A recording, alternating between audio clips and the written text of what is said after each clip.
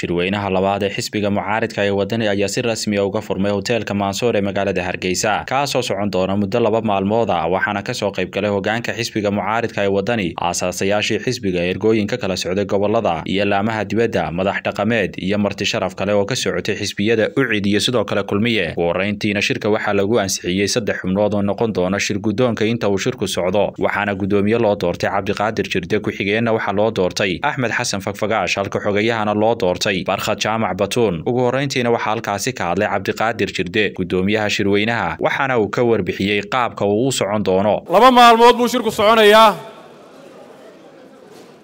Maalinta hore waa warbixinnadii laga dhegaysanayey howlwadheedannada xisbiga. Berrito waxaynu gelaynaa hawshii.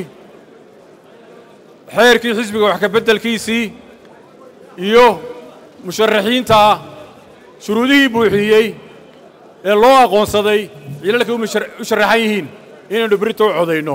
Dhankooda siyaasi ismaaciil yare guddoomiyaha guddida qabanqaabada shirweynaha xogayaha guud ee xisbiga mucaaridka ee wadani khadar xuseen cabdi guddoomiyaha garabka dhallinyarada iyo haweenka iyo mas'uuliyiin kale oo ka tirsan hogaanka xisbiga ayaa halkaasi ka hadlay waxaana ay sheegeen. Xisbiga waddani wuxuu u taagan yahay hirgelinta doonista aan nasashada lahayn ee ay dadka jamhuuriyadda somalilan qarannimadooda ugu raadinayaan aqoonsi caalami ah iyo inay dhistaan bulsho ku dhaqan xornimo iyo cadaalad iyo nabad. Cirrow for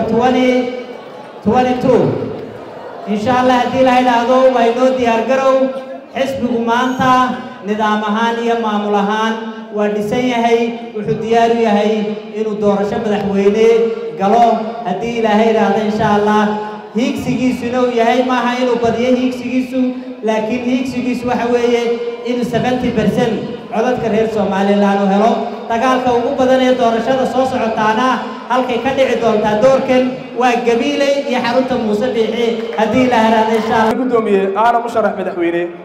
Waxaad ku niyadsamaataa in dhallinyaradu hareertaada joogtay in dhallinyaradii hareertaada joogtay ay joogi doonto weligaa ilaa ay dalkan ku gaadhsiiyaan oo talada qaranka ku dhiibaan. Aan aad ugu faraxsanahay ama aan ogaaday maanta markaan guddidii ku jiray inuu xisbigu bixii uu u ballanqaaday haweenka uu maantaba muujiyey oo boqolkiiba soddonkii la nasiyey ay ka muuqato ergada lixda gobol ee somalilanba in haweenka intaa la egi cabdilaahi maxamed daahir cukuse siyaasi jaamac shabeel iyo sidoo kale marti kale oo ka socotay xisbiyada kulmiye iyo ucid ayaa iyaguna halkaasi ka hadlay. Kulmiyaha cusubi isagaa kulmiyihii odhan maaya markaa idinka isagaaba hawl idinka furtay. Meelaha ay dadku tegayaan oo ay ugu weyn tahay aqoonsiga raadintiisa oo aannu kugu tuunsanaynaa tay diblomaasi weyn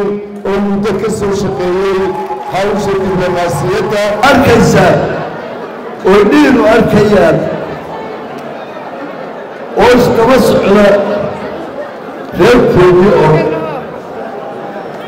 daadkii ugu soo muuqulaya xagga wadana cid jecel iyo cid necebba isbahaysigaasi wuu jirayaa ilaa doorashada madaxtooyadu dhacdo markhaati furka laysla gaadho.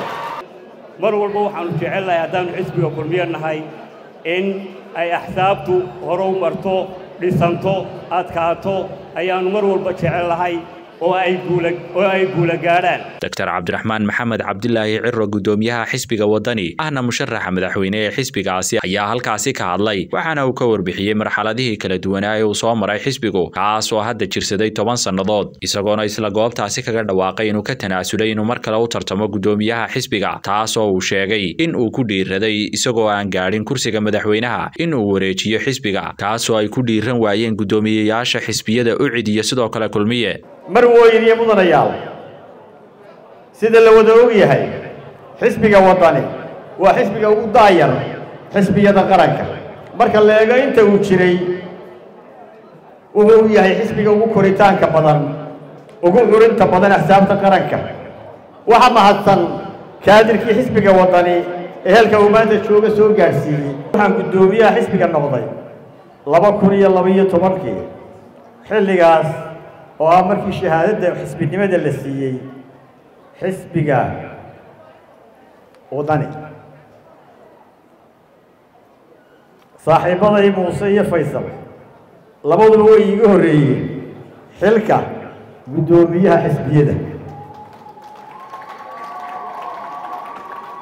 Daa ahaanna labaduba way iga weyn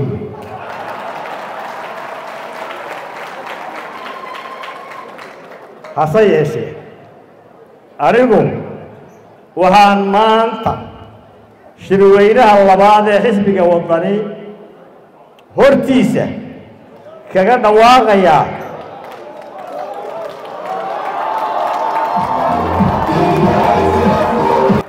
kaga dhawaaqayaa inaan ka hadhay inaan u tartamo mar labaad xilka guddoomiyaha xisbiga waddani ahayna musharax u taagan una tartamaya xilka madaxweynaha jamhuuriyadda somalilan ee doorashada madaxtooyada ee saddex iyo tobanka noofembar